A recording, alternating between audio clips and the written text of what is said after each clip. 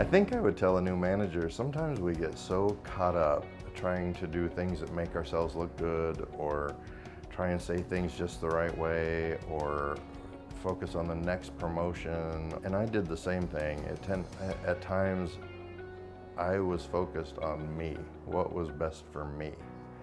And those were the times I was least successful. So I guess I would tell a new manager that to be successful, they really ought to focus on the success of others.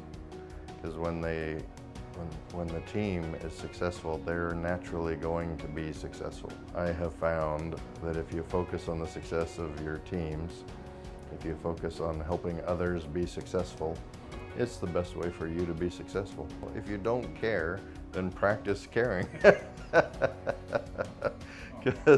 Because it, it can't be fake. It has to be genuine. Or, or you need to find a different environment to work in. Or maybe you're not cut out to be a manager or a leader.